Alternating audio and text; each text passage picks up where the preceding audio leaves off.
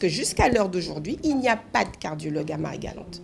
Et donc, ça a été, c'est traditionnel, les cardiologues de la Guadeloupe continentale se déplacent pour venir faire des consultations. Ils ne peuvent pas toujours se déplacer et la demande est importante. Et en fait, on a découvert, avant d'installer le dispositif, on a fait une étude prospective. Et on a découvert en fait que, euh, qu'il y avait une grosse demande de consultation cardio avec des patients qui étaient parfois très lourds.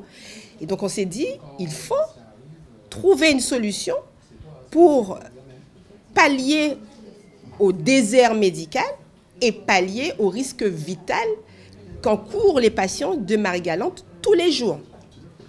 Cet intermédiaire, c'est le dispositif de télémédecine avec c'est quoi la télémédecine? C'est de la médecine à distance. C'est tout, euh, régi par les mêmes règles déontologiques que la médecine sur place.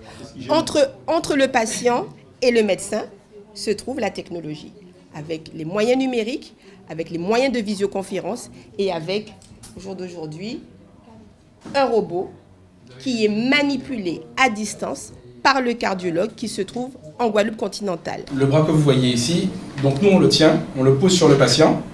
Donc il nous appartient à nous les infirmiers téléassistants de trouver les bonnes fenêtres de prise de vue pour euh, le docteur Hydroville. Et elle, depuis la Guadeloupe, elle peut faire bouger le bras à 360 degrés, changer l'inclinaison de la sonde, de façon à avoir la vue qui lui, convient en fait, pour le cœur du patient.